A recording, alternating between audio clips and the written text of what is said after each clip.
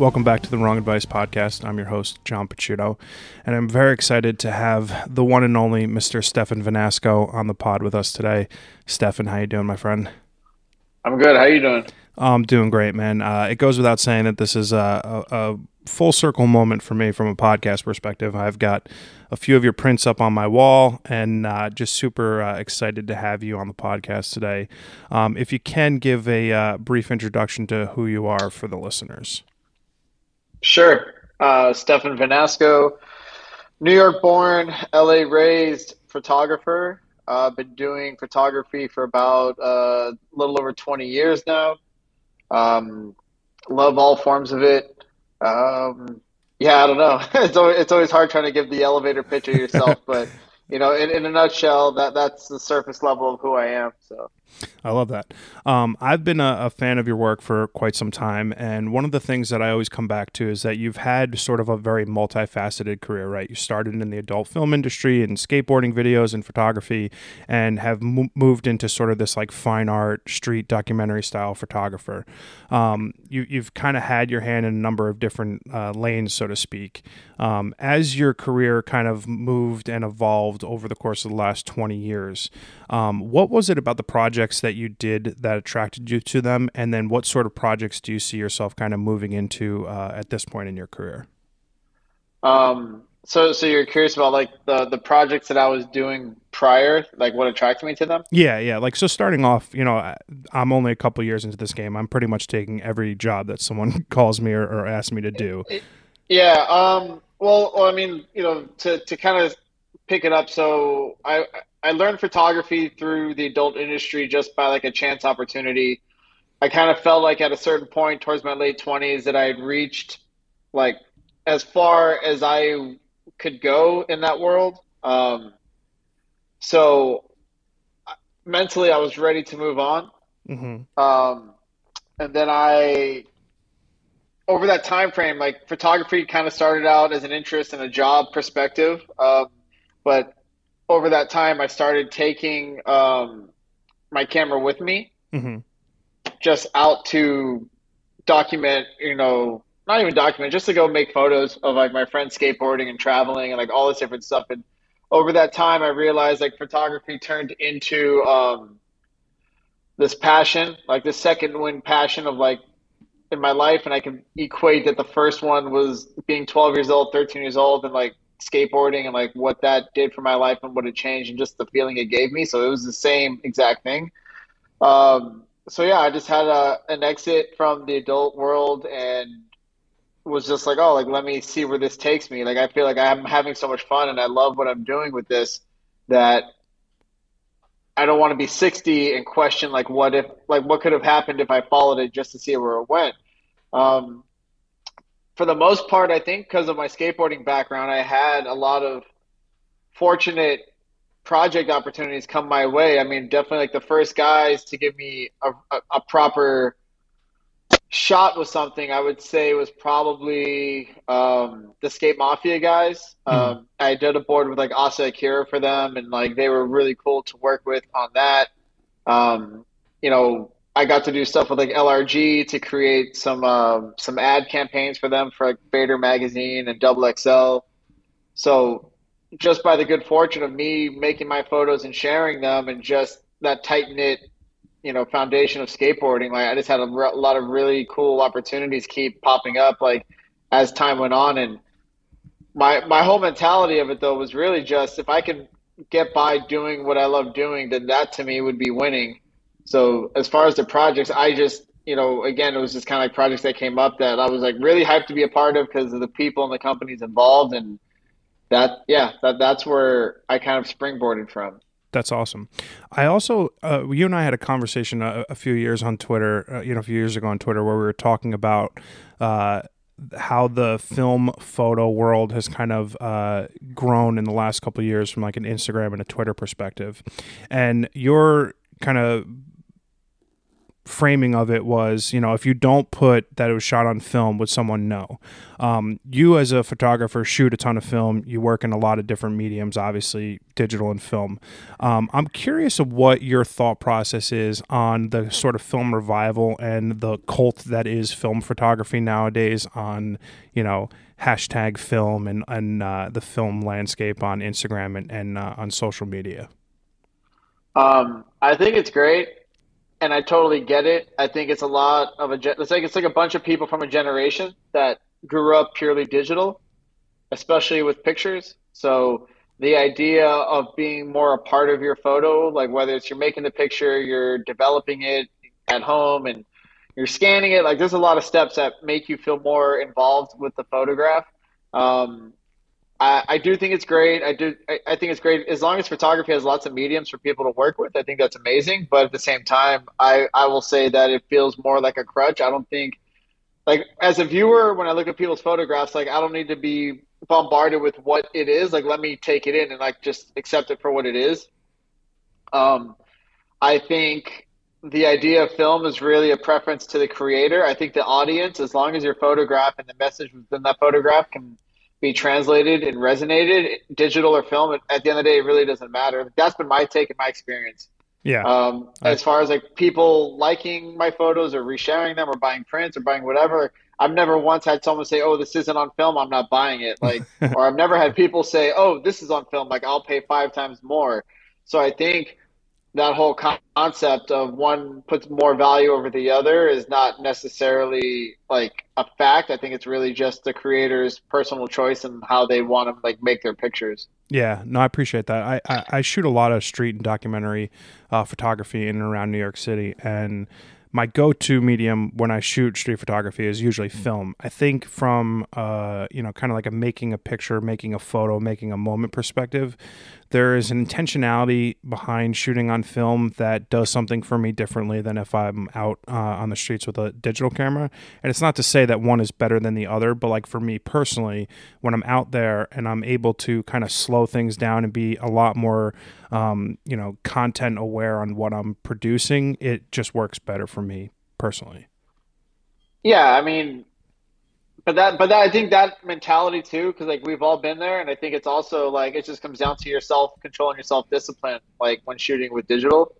Um, and again, it, it, what you just stated kind of resonates back to it. it's all the the person who's making that work. It's like whatever inspires them, whatever makes them feel better. But I don't think it needs to be forcefully shoved or, or announced in everyone's faces. Um, and I will say this: it's like shot on film, it's great. Maybe you're sharing, and that's the communal point of it. But it's also because it's on film doesn't make it any better of a photograph. Like digital or film, if it's a shit photograph, it's a shit photograph. And I think people need to like also step back and say, oh, like yeah, I made this on film, but like, is this a good picture on film or is it just another photograph on film? I think that's uh, the context people should have. Totally. I, I totally agree with you completely. Um, you're, you're a person who's got like a pretty significant social media following, and I'm very curious how um, the, the, well, you, you have got a, for the context for the listeners, um, you own a skate company called Visual, um, which I would imagine is more along the lines of like your nine to five running that company, right? Is that correct? Yeah, for the most part, visuals has, has evolved into like an art project um, for me. So it's so yeah, yeah. I mean, da- daily that's like the first things I try to attend to. Then after that, it's like my own personal work and photography and stuff. So right, cool. So for like for argument's sake, you've got a, a large social media following, and I'm curious um, if you feel any pressure to create work centered around things that are going to resonate with your audience. Not at all. I think if you're putting the audience first, then like, uh, I don't know. I mean, I'm trying to think how to how to phrase this. Um, I've never created things like with the audience for the most part, like first and foremost in mind. Mm-hmm. Like I always make stuff that I that appeal to me that I like. Mm-hmm. Um, I think if you start catering to an audience, that's a very slippery slope. That's not good for any creative because now you're going to start letting the audience dictate what you do and what you make, and that that's just going to ruin you. That's why I always find it interesting when I see people asking, polling the audience before they even do anything. Should I make this video? Should I do this? Should I, I do that? And it's like, how, like I always enjoyed the creators who just did what they wanted to do and put it out there. Like, you know, you don't need to like check and pull the audience for anything you want to you want to create. I think just if it's speaking to you and it feels good to you, just fucking put it out. Like Oh. Yeah, that, that that's what I think they should do. I fucking love that. I also think that it's an interesting point because that bears in mind the question, or at least in my opinion, the adage between someone who's like a photographer and an artist versus someone who's like creating content. And I think, you know, maybe this is just like the old man fist in the sky, me coming out here. But there's a difference between the people who are content creators who are creating a brand or a lifestyle around who they are versus a person who's like being intentional and creating art. Um, and I don't know if that's just me being kind of like a little negative Nancy or whatnot. Um, but I do think there is a bit of a distinction between someone who's a content creator and someone who's a photographer and an artist. Yeah, there, there, there, definitely is. I'm trying to think if there's like people who like cross that line, but there's, I mean, there's people. It's like you know they have their outlets, whether you know they want to make um, YouTube videos per se, or mm-hmm. they want to make, you know, TikTok videos that are instructional and everything. And it's kind of like you're more, you can be more content driven because at least my, my take on that would be is like, how do you have enough creative uh, bandwidth in your head to like fulfill either or? Yeah. Like, how do you tough. go out and like commit time to be like, a, like, like with the intention of like, like an artist? And then how do you stop that and then now you shift gears into like okay now i'm going to make this instruction video of like how to color grade or like a review of this camera mm-hmm. like i feel like that is just it's just it's a lot it's a lot of ba- yeah it's a lot of bandwidth for like to kind of put your mind into those two things and it's kind of like how like one's going to suffer the other totally like that's the way i would see it is and i think like you know you can make photographs that are cool that they're general and they're kind of like a you know um, aesthetically appealing but there's nothing that's like kind of pushing volumes on like where your mind is or what you're doing. So that that's my take on it. That it's kind of like it, it, it it's it's a sacrifice for either or if you're trying to juggle both. Oh, absolutely. I I, I completely agree. Um, I find that there are a few street photographers who I look up to and documentary style photographers who I look to up to quite a bit and, and obviously you fall within that category. You have what I would consider like a couple of the most iconic street photos that have been minted in like the last you know a few years. Um, comes to mind the couple on the subway, which I uh, the MTA, which I own a print of. Um, there's the kid on the so uh, maybe in like the transit station with the sad balloon, and then the other one where the kid's jumping over the puddle, and there's just this incredible um, reflection of like the cityscape in the puddle that the kid, the child, is jumping over. Um, in your mind, what makes for a great street photo, and how do you go about composing and creating um, these incredible images? Um, I think. Well, well, first off, thank you for the kind words on those three photographs. Those are probably you know at least easily like a top three for me. Um, I think our, I'm going to go first with the idea of like what makes a good street photograph, and I think in my take, it, it's it's a mixture of intentful use of your eye mixed with your camera, like lens, like comprehending your camera, like all these things, right? You're not just like merely holding the camera like at a general level, you know, level frame and making a photograph of like something, right? I think there's like there's a perspective or a take that that is part of the photographer involved within the photograph. It's not just the the camera doing the work. Mm-hmm. Um, I think it's that take, and I think it's recognizing like like what's a genuine moment and what's what's what's what I call Seinfeld photography. which is which is photos of nothing. Yeah. Like, you know, I'm saying like don't get me wrong because a lot of it is going out to do street photograph, it's fucking tough and it's like, you know, you got to be instinctual, you got to have an idea of kind of like what you're shooting. Um, but it's also this like trial and error and it's kind of like the more effort, the more time you can put out into it, the more, you know, the more the more times you go fishing, the more fish you're going to catch. Mm-hmm. Like that's my take on street photography. So a lot of people can take their time and you know they shoot that I, I don't know how many photos I've seen of just an average person walking across the street, an average person average person walking into a shadow, like all these shots that are just kind of like they're they're cool, but I could tell this is like this is like you at the gym practicing. This isn't fucking like the fight. This isn't mm-hmm. the match. Like this is like you in training mode. Mm-hmm. So like a lot of these photographs, like they're all relatively same and they're all there's nothing outstanding about them. So I think if you're trying to shoot photography, you gotta like step back and look at your work and say, is this really a photo of anything, or am I trying to play it off that this is bigger than what it is? Mm.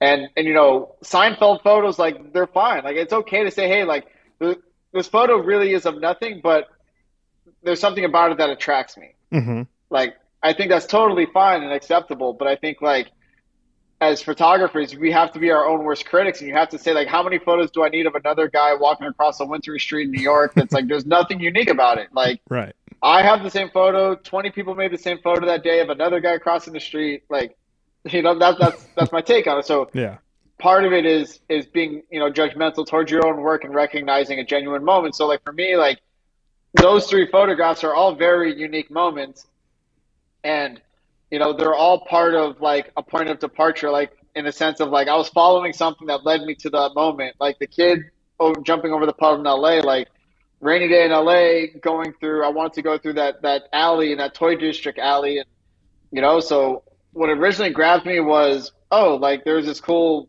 unique shaped reflection of the city. Like I'm gonna shoot that because I was there shooting that. The kid walked by with his family, and then he just starts jumping it back and forth. and then when his parents were done, they they left. So my point of departure of following these like reflection shots, shaped reflection shots through LA, like led me to that the couple on the LIRR that morning, I went out to the Jamaica station and was like, you know, just shooting harsh light, contrasting shadows and shapes. I was really inspired um, the day before, so I all I had was like my monochrome on me in a 50, and I was following that, and like following that point of departure at that time led me to like, oh, there's a couple embracing on this train, like, holy shit, this is a pretty you know unique moment for me to like photograph. Yeah. Um, you know, and the LA one was like a similar trope where I was downtown and was just like, oh, I'm going to go up to Hollywood to go shoot. Jumped on the uh, the train station, got off at K Town for a little bit, then went back on the train station. There was this little boy with his dad and his brother, but the little boy just had this like weird long T-shirt on and the balloon and with a with a sad face on it.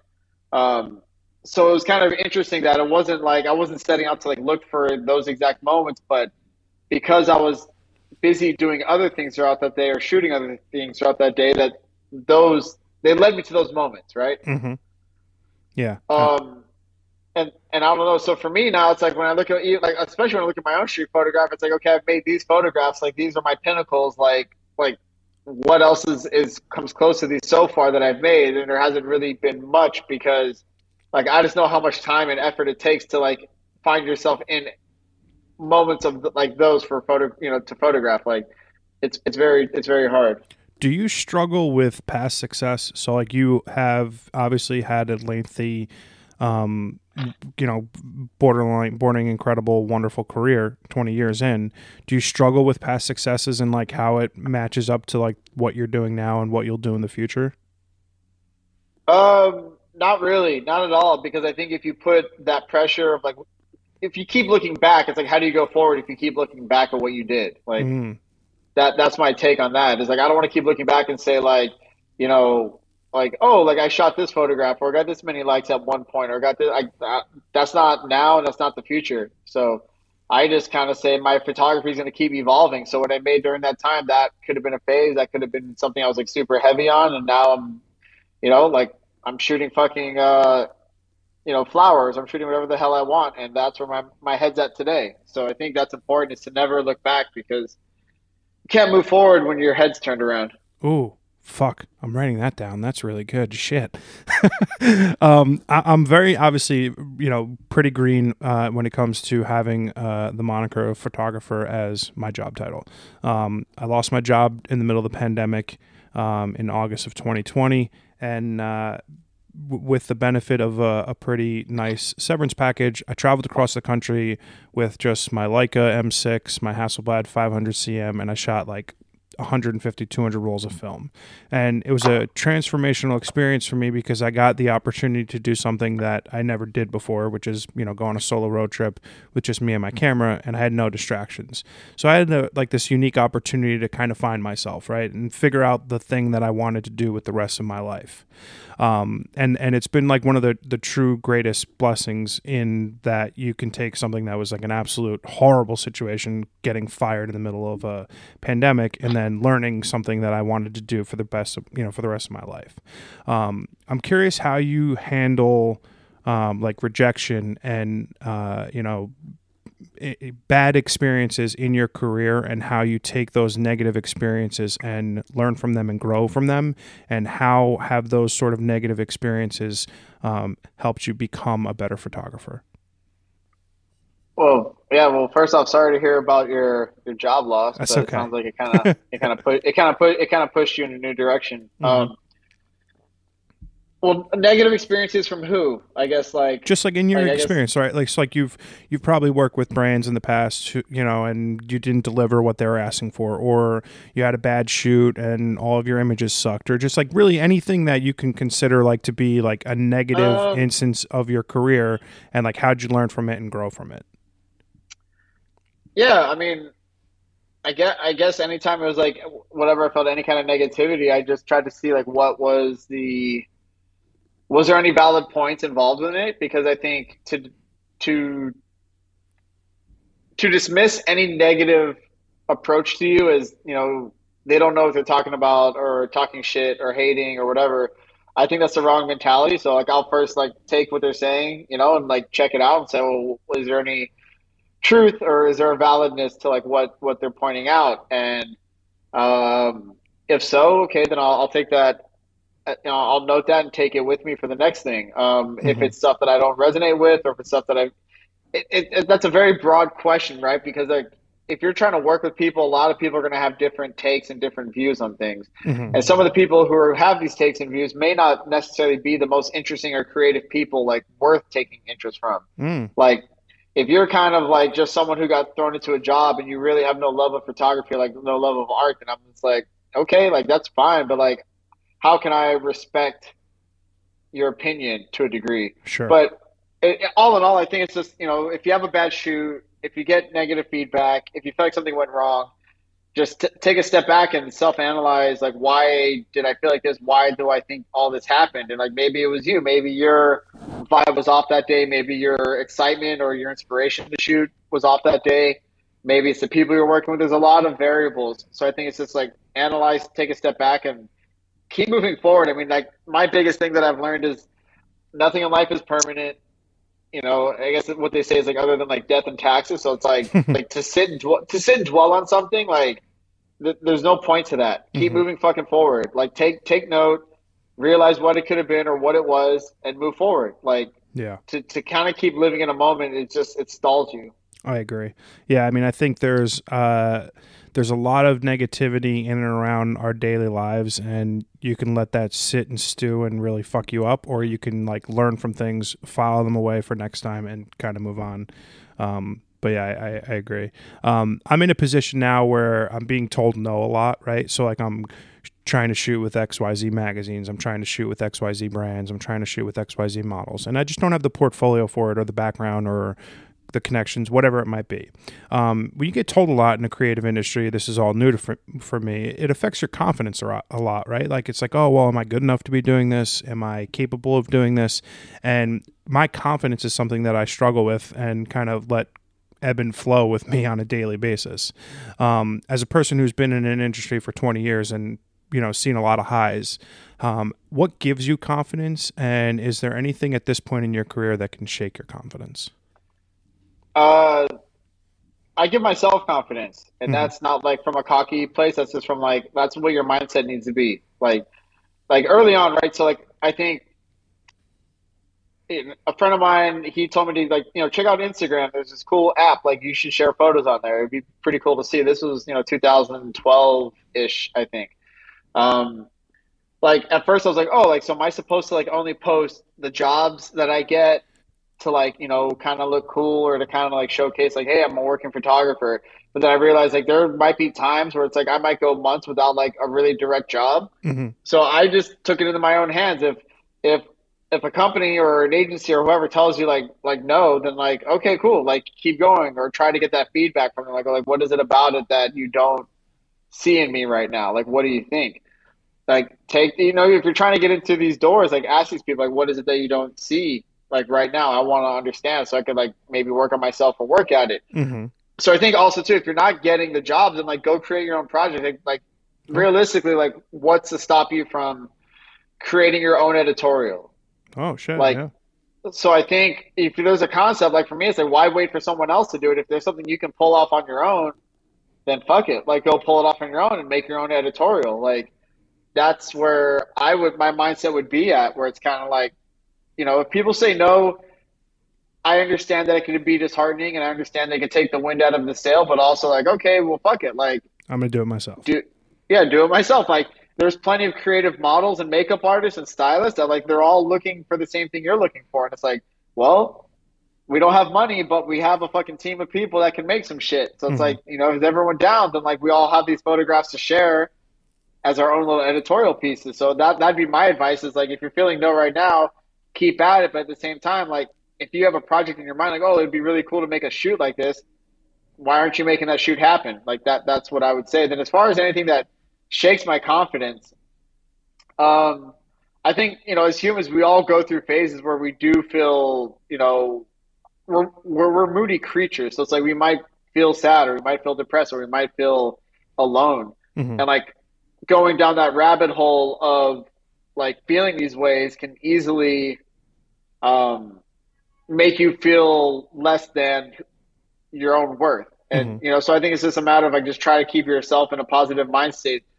You know, the big thing I've always been a fan of is like always look at what you have. Don't you know when you focus on what you don't have, then you fucking start going through all types of fucked up emotional stress and like it's pointless, right? But like Totally. look at what you do have, like be thankful for that and realize that you do have a a good start and you do have a good foundation and you can make whatever you want to make from it versus like just, you know, woe is me, I don't have this, I'm not getting this. It's like that does nothing for you. hmm Yeah, I think uh, that that's a mindset that I've been able to grab a lot. You know, since I've hit my 30s. Right, you realize you don't need 50 pairs of Jordans or you know 10 pairs of jeans. Right, you you start learning that the things that are important in life are not stuff. It's like the people and the experiences that you share with the people in your life, like the things that are not going to be replaced or replaceable.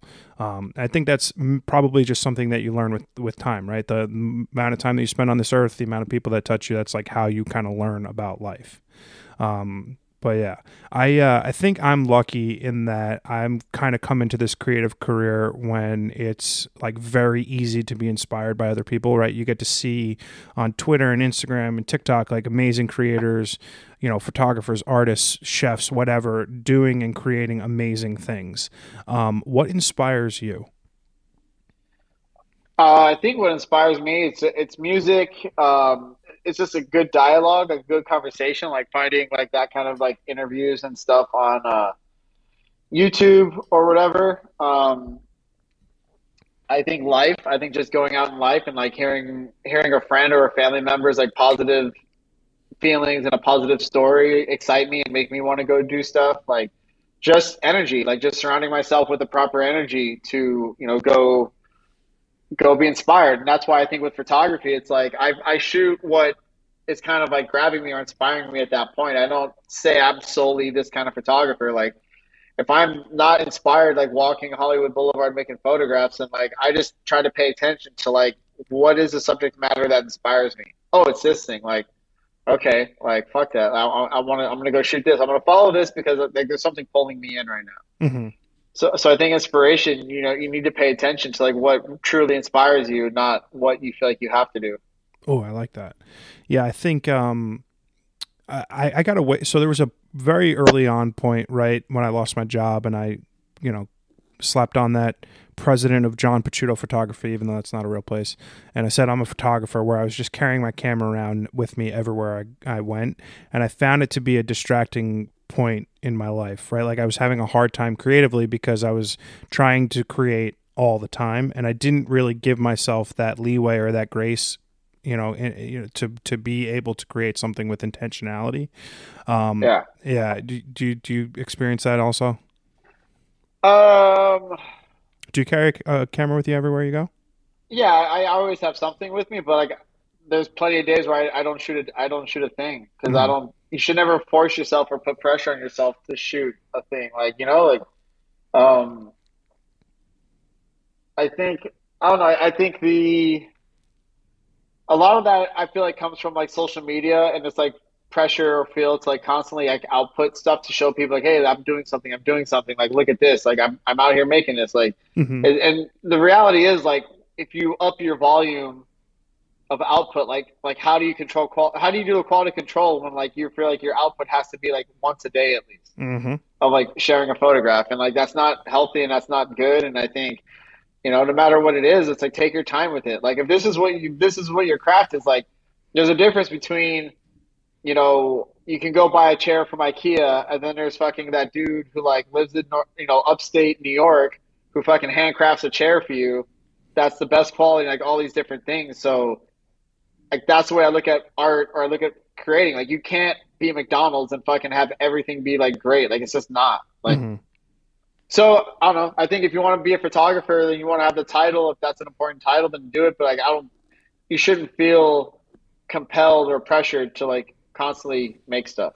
Yeah, I've I've thankfully been able to get away from that sort of feeling and that uh, you know the pressure that social media gives you for someone like me who just doesn't have a huge social media following. Right, for a long time, I felt as if well, if I don't have ten thousand Instagram followers or ten thousand Twitter followers, like I'm not really doing it right. And uh, it took me having a conversation with uh, another photographer on my podcast, uh, Jason Roman, um, aka Stock Easy, for him to say, listen, if Instagram and Twitter and TikTok go away tomorrow, are you still a photographer? And I was like, yeah, of course. He's like, okay, so stop fucking making pictures for for people on the internet. Like, make them for you. And I think that was like a, a contextual point in my career and my life where I was like, what's the point? I was for a long time just putting things up for the sake of putting them up, and there was no thought to the intentionality behind it. And it was like a, a really big pivot point for me because I started having a much healthier relationship with social media.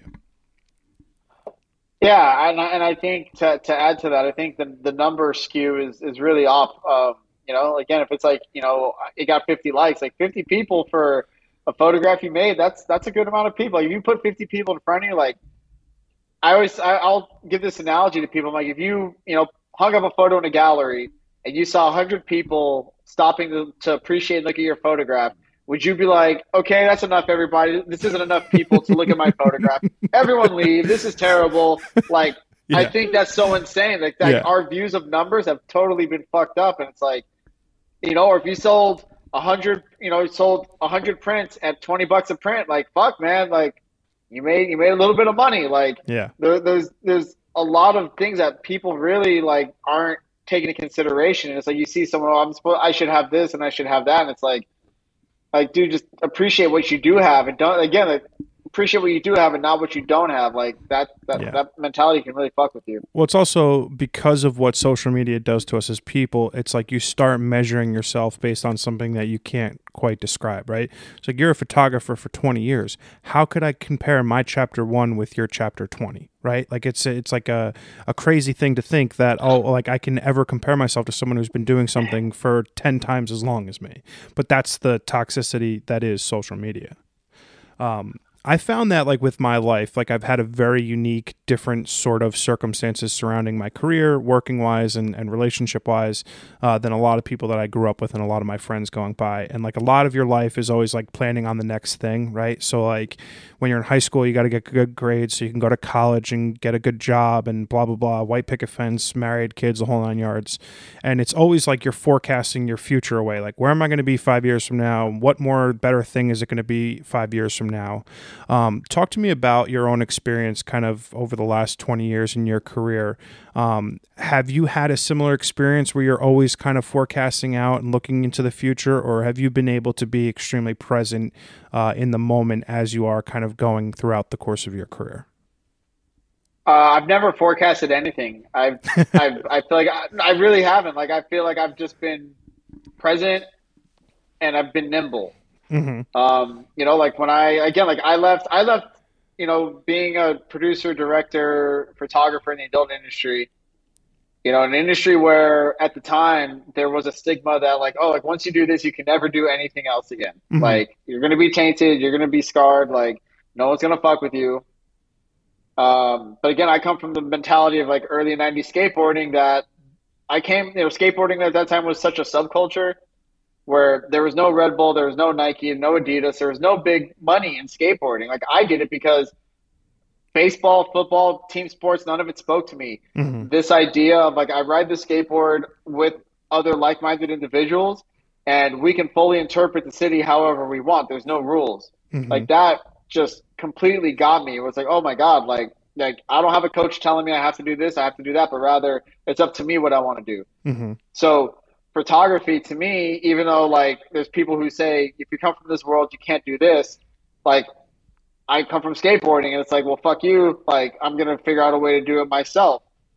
Um I never strive to like want to be like another photographer. I just wanted to be myself. Mhm. Whenever I hear people say I want to be the next so and so or the next of this person, like I don't understand that because it's like why don't you just want to be the first of yourself? Oh.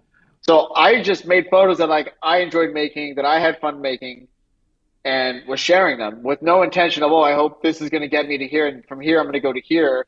Like fuck, like that's just a lot of thinking and planning, and like I'm I'm I'm a very like even like when I do photo shoots with models, like I do no mood boards, I do no inspiration photos. Oh, me too. Like so you know I it, it's a creative clean slate. So yeah, I don't know. I just was like always attentive to like what's going on around me and like what what made me feel genuine, what made me feel happy, and like what I was having fun doing. Like that's all I really paid attention to. It's gotten me this far, so Yeah. Well, this know, a don't, I don't very think it's done too bad. there's a high level of pragmatism to that way of thinking.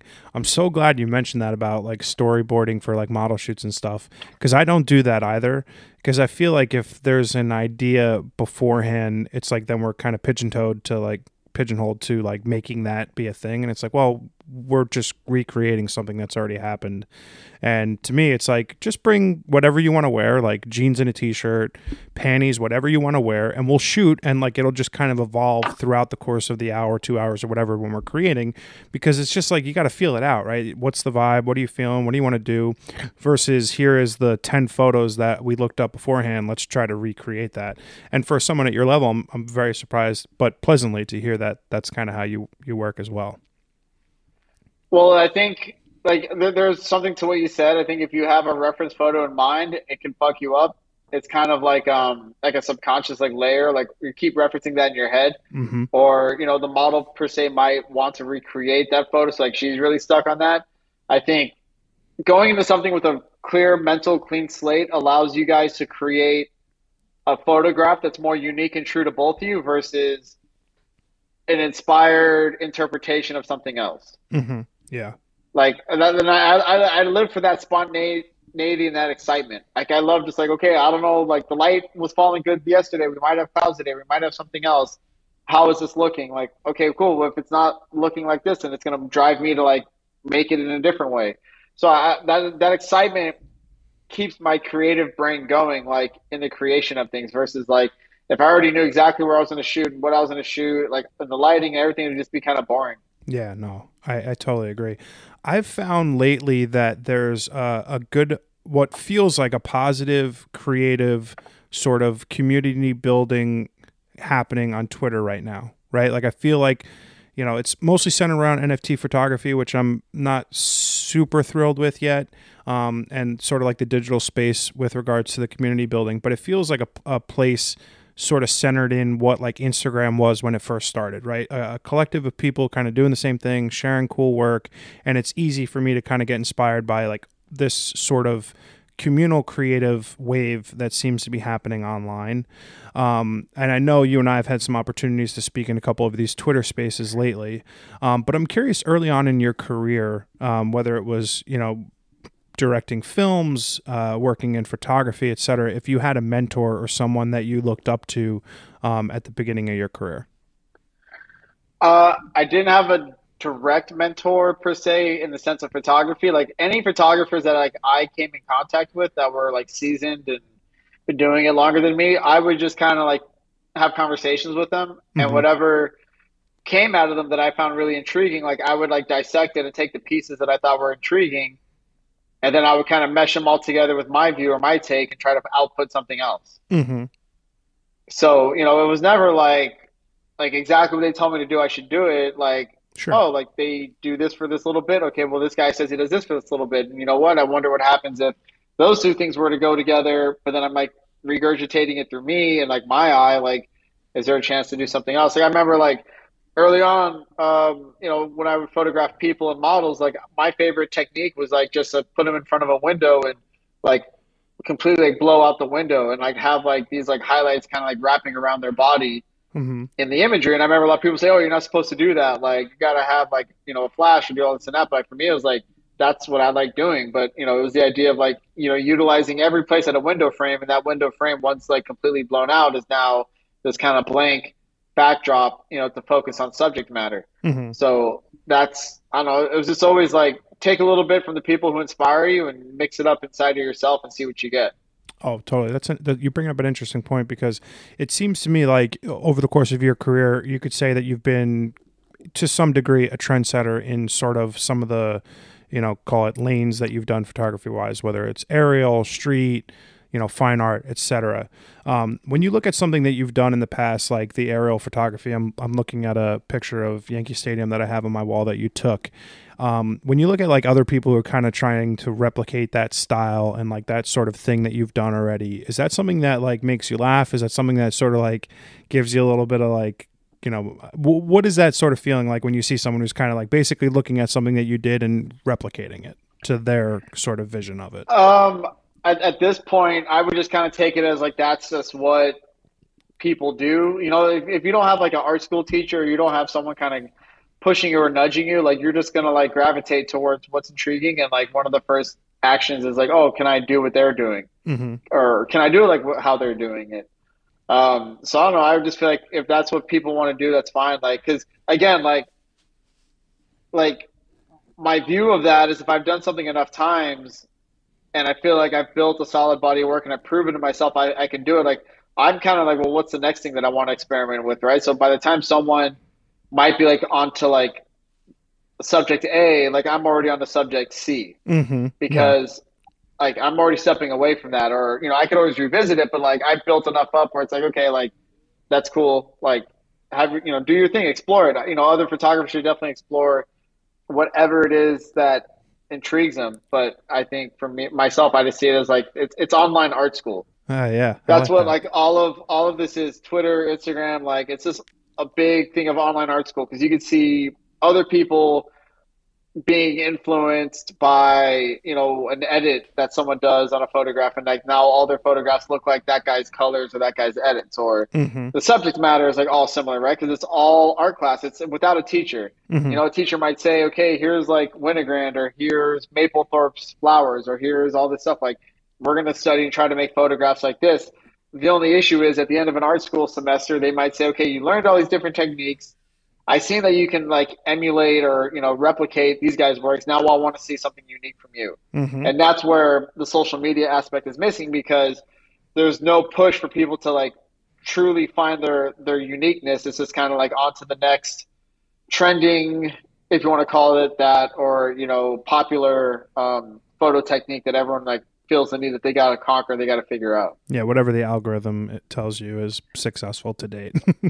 um, well, I, I don't know if it's the algorithm per se, but it's just a communal thing because it starts off with one person doing it, then like three people think like, oh, I want to do that, then those three people do it, then like you know, I don't know if it's fully the algorithm per se, but I think it's just really the communal, the, the, oh, the, the real point. life, com- yeah, the, the real life communal algorithm, right? Because like as you know, more people engage and like it, then more people try it, and then it starts permeating more throughout the. Yeah, and, and, and maybe at some point it does transcend the actual algorithm because they're just saying like, oh, like all these likes are happening on these photographs. I guess we got to promote these photographs. Mm-hmm. Um, but I think, yeah, I think it's just really, it's really the photograph community because again, it's like you got a lot of people who are maybe between one to five, seven years into it, and they're still trying to find themselves, and it's hard to find yourself, you know, with the the complexity of social media. I do agree with that completely. I, I struggle with that mightily at this point in my career where what my voice is and what the story I'm trying to tell behind the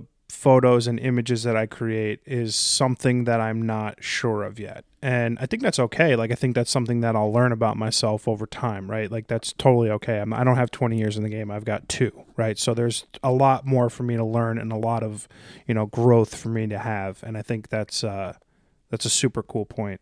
Um, I'm curious, do you still have your Hasselblad X Pan?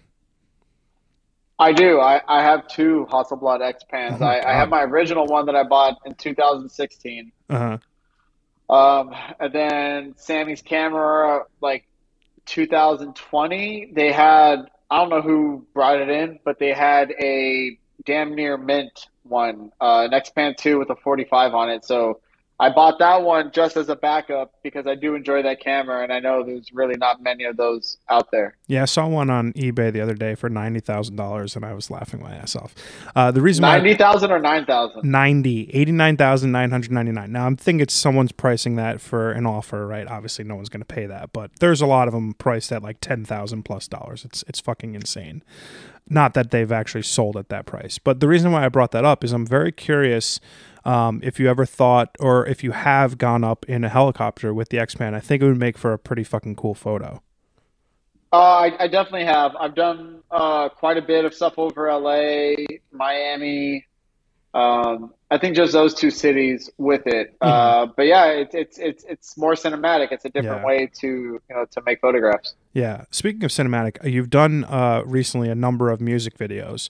Um, talk to me. It's sort of like coming full full circle with your career, right? You started off directing films, went full time photographer, back into making films now and, and music videos. Um, what has that process been like for you? Kind of going back into film and, and creating something in like a different uh, medium.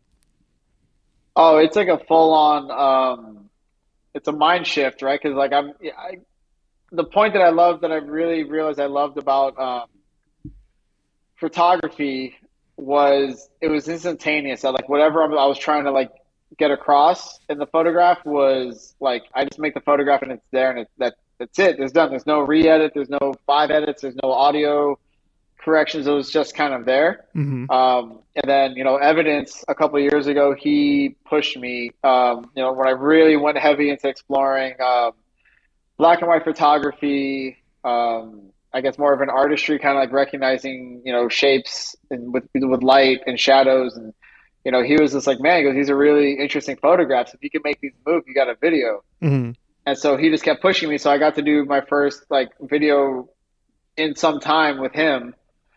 And I realized, okay, I can do this. Like I can work with someone. Like if I, especially music video wise, like if I like the music and I like them as a person, like I can do this. Like it wasn't like I'm want to go shoot videos for everybody and anybody now. It was kind of like only select few that like I'm excited to do it. Mm-hmm. Um, and it was just exploration. Like he was down to like, you know, let's try Super 8, let's try this, let's try that. And um, you know, that was always really um really fun, you know, and it, it I just looked I just looked into it as like, well, what's the learning process now? Because it's like to make a even a music video, it's, there's a rhythm to it and there's a whole approach to it that's not just as simple as like putting the song underneath the video and like that's it, you're done. So he, Yeah. he showed me a lot of from him from a musical point of view and him as a as an artist, like in that world, like he showed me a lot of insight to that, which was really intriguing and interesting. So you know, I might try to do more stuff, you know, down the road. But uh, but yeah, it was, a really fun adventure. That's pretty cool. Yeah, I'm uh, I'm directing my very first music video in, in a few weeks with a band who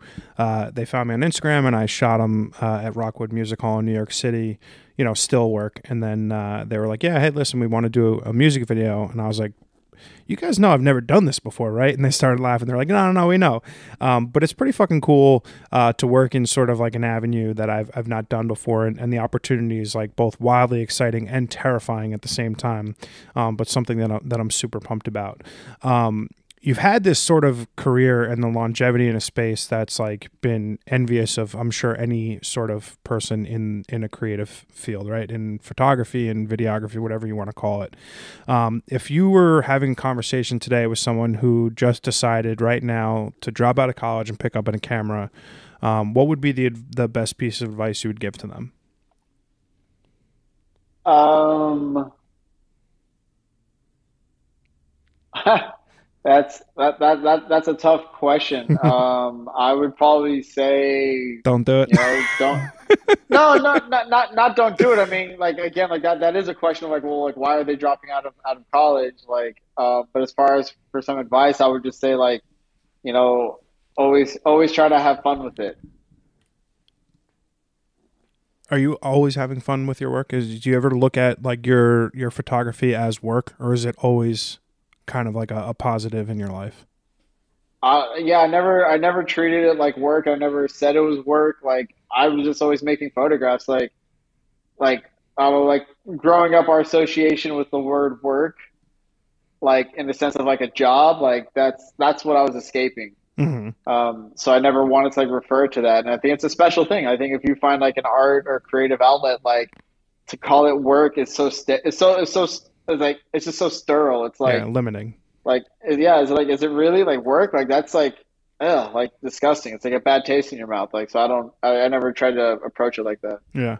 I feel like a lot of people who kind of came up in the skate world in the 90s, maybe not a lot, but like better than 50% average, have had the benefit of like exceptionally great careers, whether it was straight and straight in skateboarding um, or whether they branched out into creating a brand or creative pursuit, whatever.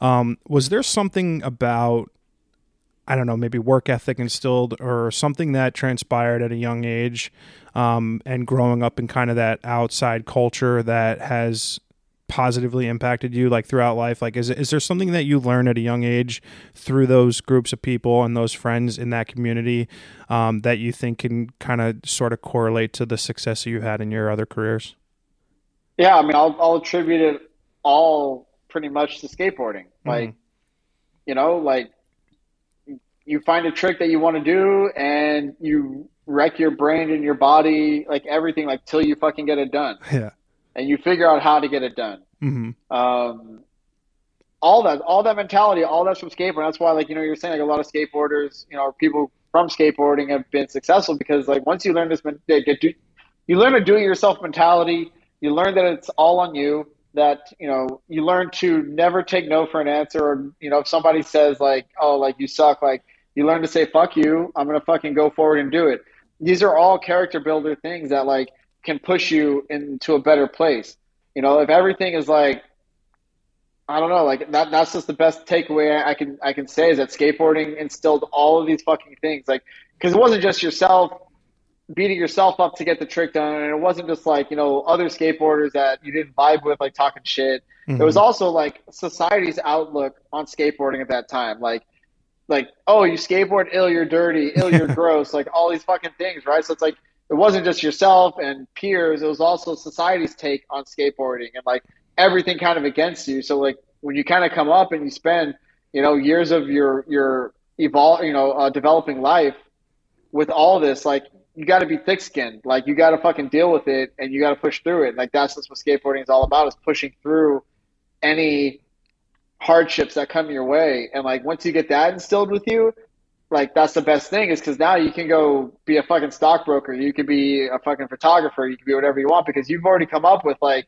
this boot camp training of like what happens when someone tells you no. Well, I'll fucking do it anyway. Mhm. Like yeah so, that yeah, fuck all you that stuff for sure. yeah i uh, Yeah, I mean, you know, and, and I and I see like I, it's interesting because I I keep hearing about like the participation uh, trophy generation. oh god yeah We're like, you know, and I, I feel like that's what I see a lot of it at, where it's like, you know, if you feel like your photos should be here, and you feel like just for the sake of feeling it, like you should be making all this money, like, like, dude, like that's not how the fucking world works. If you don't get into a gallery, it's like, you know, you can't get mad and say, oh, they're just hating on me, they don't like my work. It's like, nah, like, dude, like you got to push through, like, you know, like yeah fucking show show them what's up. I mean, I, I've I, I'm a, a a direct sort of byproduct of that. Like I, I took a career making high six figures in you know construction and and uh, finance, and just said fuck this shit. This is not these things aren't important to me. Like I don't need more money. I don't need more stuff. Like I want to have a life that is, you know filled with creative joy and like doing the thing that I love to do. Like I literally have said like I don't care how much money I make over the course of this 2-year period. I'll do work for free. I'll, you know, be someone's assistant for free. I'll fly somewhere to work with someone for $5. I mean, I just want the experience, the opportunity to learn and grow. And that's not going to happen with this generation of kids who've grown up with participation trophies for sure. Um, I think in direct relation to that sort of skateboarding community like i've been lucky enough to have like the support of my family and my friends in a way that you know you, you, can only describe it as blessed. I'm super curious about what your support system was like in from the beginning of your career to now and uh, how that relationship with your family and friends has been able to benefit you from a from a production perspective. Um, I mean, yeah, like early on, I was fortunate to have a lot of friends that were very like um, supportive and, and pushing. I mean, that's a, a big reason why like I really started doing more photography was, you know, I would have like close friends that would see some photographs and be like, oh, like these are really cool pictures. Like that kind of sparked my idea of like, oh, like maybe I can make pictures. Um, you know, and family wise, I think family, no matter what, like they just want to see you be happy, you know, doing something that you love doing and being happy doing it. Mm-hmm. Like so his family's always going to usually is always going to be supportive and especially like where i was coming from like they were just like yeah like if you you know like you want to explore this go do this. Um but yeah i don't know I was, I was fortunate just to have like some great people in my corner that kind of like just nudged me you know and like gave me you know positive reinforcements when they felt they were deserving. You know if i made a certain photograph like this is a good picture like you know all this different stuff. So that kind of good but then it's also like learning to like build up your own, you know, um,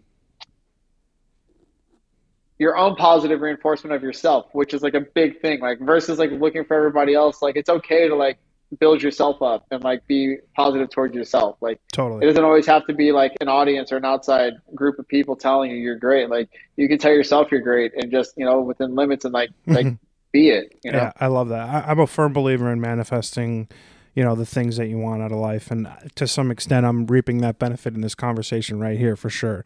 Um, you, you've had this fucking amazing ability to create beautiful works of art. You have 20 years of experience. You've worked with some amazing human beings in film in modeling in arts whatever. Um, do you still suffer with imposter syndrome at all? Uh, no because i don't worry about too much what other people think of me. Hmm. I like that. I guess you know what I'm saying because it's yeah. like if you like I don't know like Fuck again it. like I I try I try to direct my energy and my thoughts into like stuff that's like you know just better energy because again like if you like going down a rabbit hole if you started am I good enough am I this and that like like to self doubt it's like while we all have been there we all can kind of go through it like once you do go through it you know a couple times it's like like this does nothing for me. Mm-hmm. Like sitting here and doubting myself and questioning myself does nothing for me. And it's like, hey, like I'll, I'll, keep making work and keep putting the work out there. And like if people like it, cool. If not, like I'm still gonna like do it. Like, um, yeah, I love that. I yeah, I don't know. It's it's it's it's a thing again. Like I've gone through it. I've had my moments where it's like, am I still good or is this a thing? But then it's just like, well, like what's the point of it? Like, like you just try. I'm still having fun. Yeah, yeah I'm, I'm, just still having fun making these pictures. So it's like I'm going to keep making these pictures and like, you know, and see and see what happens. Yeah, I like to spend the last bit of every podcast doing sort of a rapid fire Q and A. Um, some are easy, some are a little bit more in depth. First thing that comes to mind, or first couple. But my first question for you is, what's your favorite book? Um, my favorite book. I'm blanking out on the name of the author. Uh, it's The Art of Happiness. Oh yeah, yeah, I read that. Yeah. What's your favorite movie? Uh, Kids. Oh, nice. Uh, favorite food. Um, dude, I was like so much, so much. I mean, I would say probably off the top of my head, uh, Kogi barbecue truck. Uh, that seems like recency bias, Stephen. you know what I mean? I, I, I, just, I just, I just had it. Like that's like still been on my mind. I saw like, it on yeah, your story the other day. I was like, oh fuck, so jealous. Um, yeah. yeah. Do you believe in an afterlife? Uh, I believe there is some form of an afterlife, not a specific one. Yeah, I agree. You know what I find reassuring? I've, I've asked that question 60 plus times now, and I think we're like at 90% people thinking there's something else beyond, and that's a bit reassuring. Um, what's your biggest dream? Uh, happiness for myself, happiness for my family. Oh, I love that. Uh, what's the best piece of advice someone's ever given you? Uh, you don't get what you deserve, you get what you negotiate in, in the sense of business. Hmm. I like that. Are you happy? Yeah, I'm happy. Nice. Last question. What's one recommendation for something that you've consumed lately? It could be a podcast, a movie, a book, a TV show, just something that you've watched or consumed lately that you think everyone should check out. Oof. Man, it's like we watch so much material now that it's like it should be fucking like top of the the list. I've been I don't know. I'm gonna keep it simple. I've been really have been enjoying uh, Peacemaker series. Oh, dude, HBO. it's so good. It's one of those shows that's like so absurdly hilarious, but it's just I mean, John Cena was meant to play that role. So good. Yeah, yeah. So it's like that. That would be my thing. It's like if you just want like a break from something and want to laugh, like you know, go check that out. Yeah, for sure. Uh, Stefan, uh, I, I, mean, I can't be more effusive of for who you are as a person and, and how much your work has meant to me as an individual. I am beyond appreciative for uh, the time that you gave me today to be on this podcast. It's been really surreal and fucking awesome for me. Thank you so much for coming on. It's been an absolute pleasure. No, for sure, man. Thank you for having me. Yeah, no problem. Be well.